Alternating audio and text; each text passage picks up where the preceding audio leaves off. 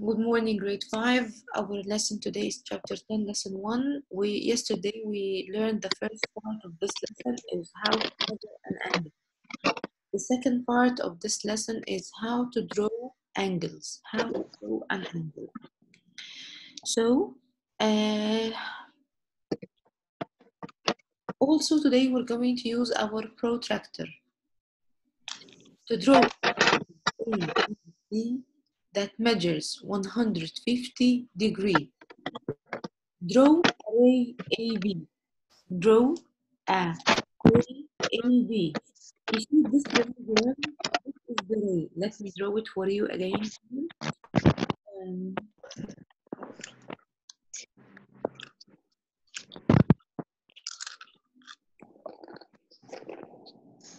yeah, where is the tool?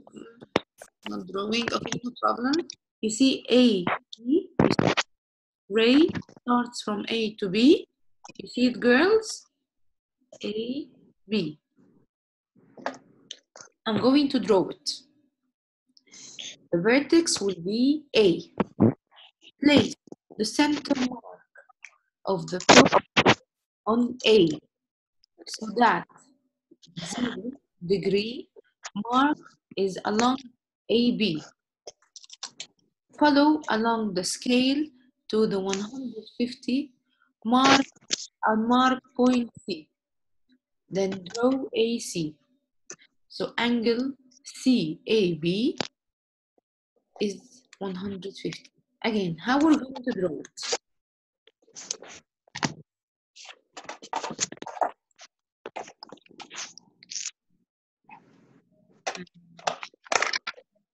Okay, I'm going to draw A, B.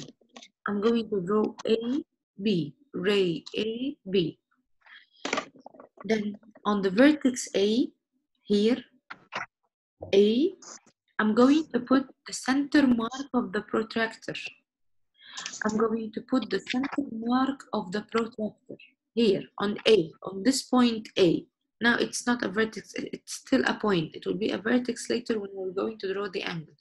On point A, I'm going to put the, the center mark of the protractor. Since AB, AB, ray AB is on the left, so I will choose the scale that zero will be on the left. Since AB is on the left, so I will start, I will choose the scale that zero on the left. I will not choose zero on the right. I will choose zero on the left. Okay, girls? So I will start from zero, 10, 20, 30, 40, 50, 60, 70, 80, 90, 100, 110, 120, 30, 40 till 150 and I'm going to put a point here. I'm going to put a point here. This point, it will be C. And I'm going to connect it or to join it to A. And now I got my new angle, B, A, C. Okay? I choose, I used the outer scale. I used the outer scale. Why? Because the outer scale, the zero starts from the left, where I draw AB. I draw AB on the left. So I'm going to choose the scale that zero will be on the left. Okay, girls? So now I'm going to uh, show you a video now. Uh, I want from you to tell me uh, you see it or you cannot see it, okay? Because I faced a problem yesterday that the video was not seen.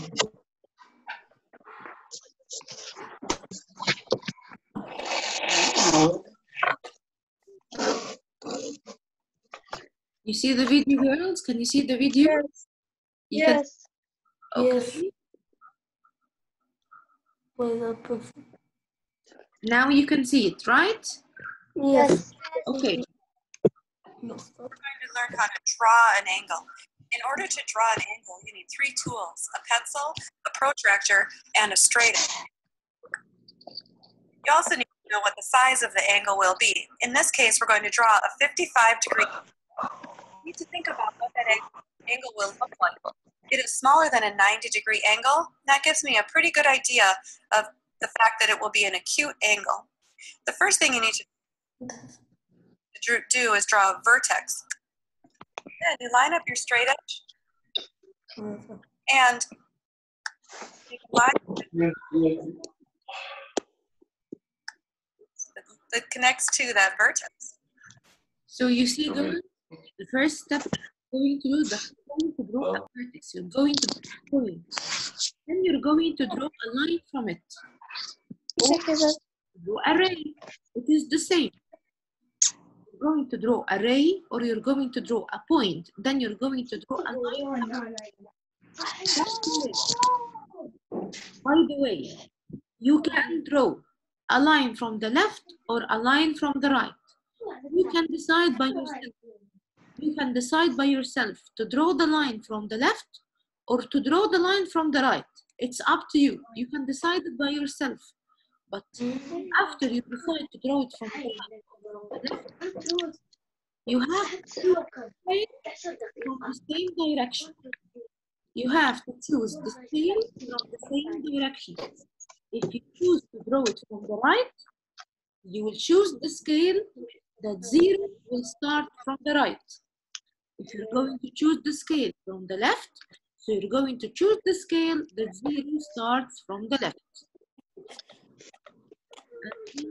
Try to be quiet so you can be able to listen to the video. And you can move your straight edge. And now you put the protractor right on your vertex, lined up the baseline, and it's pointing to zero. Again, Zero is on the outside number the We'll use those is to on count up. to 55. what do you do? Protractor at 55, I'm going to draw a little dot. Then I'll move my protractor away. And line up my with that dot and connect it right to my vertex.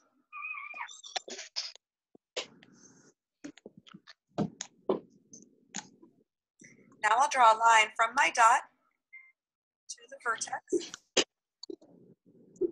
My straight edge away. Draw my directional arrow. And I've made a 55 degree angle. Let's try the same process with an obtuse angle. In this case, we're going to make an angle that is straight edge here. Down. And the first thing we do, vertex. From the vertex, we line up our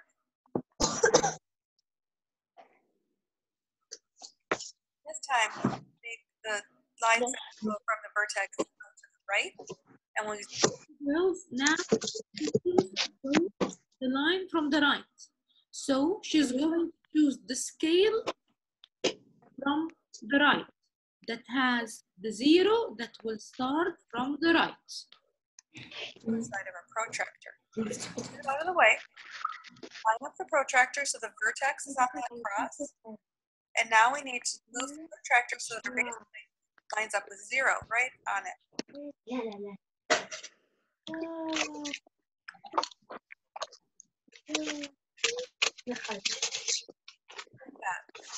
Now with our pencil, we're going to find 142. Now on the right side, I want to use the inside numbers because I want to start out at zero. So over here, I've got 140. I go up just two degrees from there and make a dot at 142. Now I move my protractor out of the way, get my ruler, line it up with the dot and the vertex, and I draw another straight line. I have a 142 degree angle. The last thing I want to do is draw my directional arrow to show which angle I've measured 42 degrees.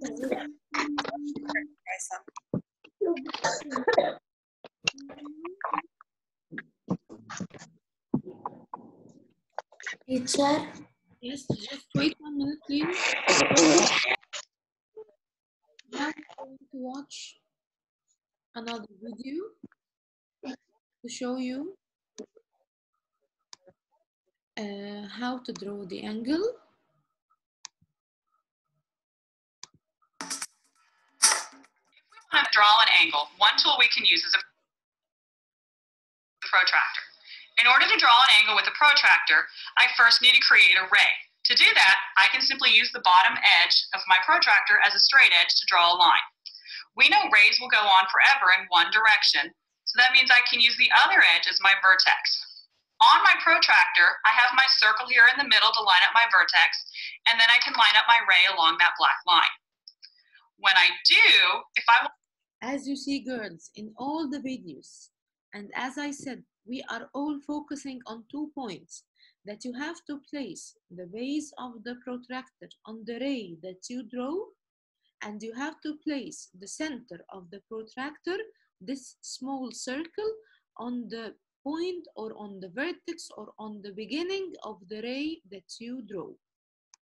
draw a 90 degree angle, I can simply come around to 90 degrees and make a mark where it's going to be.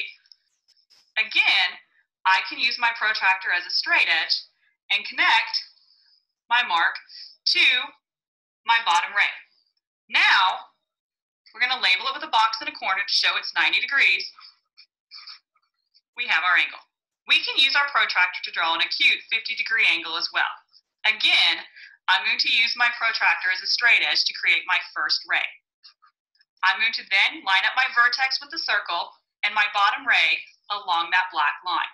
She's going through Now, 50 degrees. I have two 50 degree measures on here. I have a 50 degrees here and I have a 50 degrees here. Well, we know 50 degrees is an acute angle measuring less than 90. So one way we can tell is this one comes before my 90 degrees, so that must be 50 degrees. My other choice is look at where my bottom ray is. This would be considered You see, girls, she said, I have 50 degree here and I have 50 degree here. Which one she's going to choose? The one on the right or the one on the left? She's going to choose the one on the right. Why? Because her ray starts from the right. So she's going to choose the scale that the zero starts from the right. Zero degrees, and then my angles need to increase from there.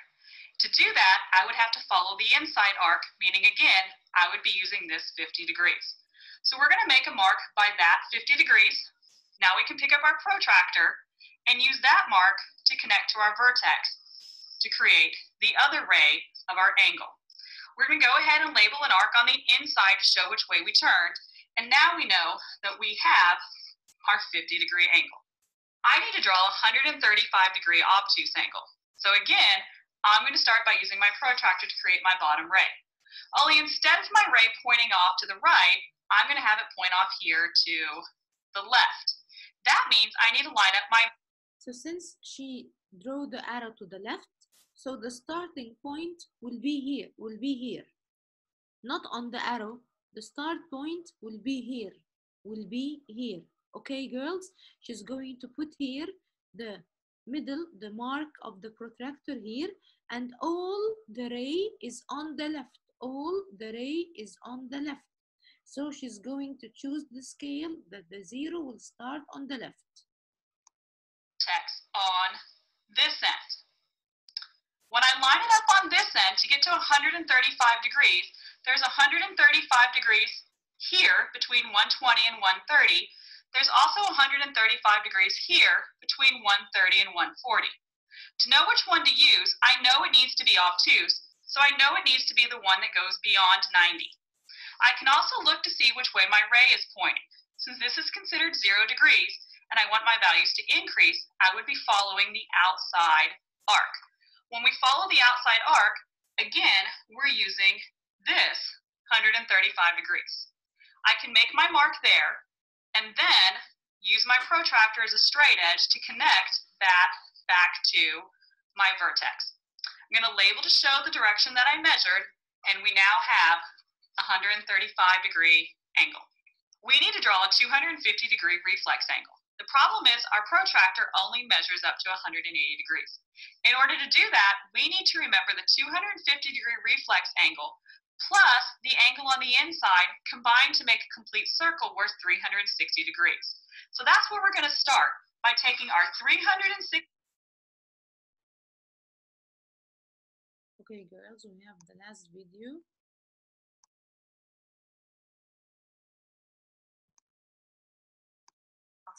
How to draw angles. Let's say I want to draw an angle XYZ that is 133 degrees so I start with a straight line, a small line here. I label this to be zero. What I do next is to put my protractor on this line. Remember that this black line needs to be on this red line and this point needs to be at this point. Okay.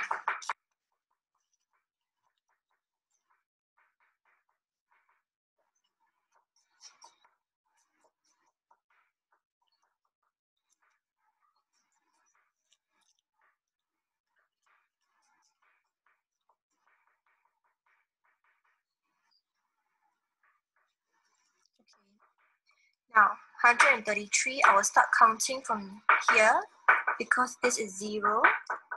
And since this is 0, I start from the outer scale. 0, 10, 20, 30, 40, 50, 60, 70, 80, 90, 100, 110, 120, 130, 131, 132, 133. So I put a marking here. At 133 and I will take away the protractor and draw this line down here.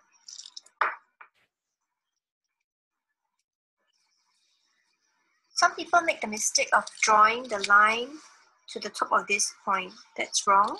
You are supposed to draw the line to touch this line zero here. And your angle will be here. Alright, because an angle is when two lines meet at a point. Alright, so your angle will be here. Now, you have to label your angle now. X, Y, Z. Y is in the center. That means Y is where the angle is x and z can be at either point, which means x can be here or x can be here. All right, so x, y, z, this is 133 degrees.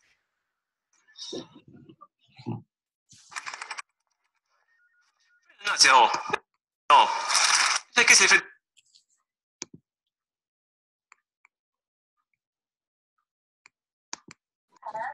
Obrigado.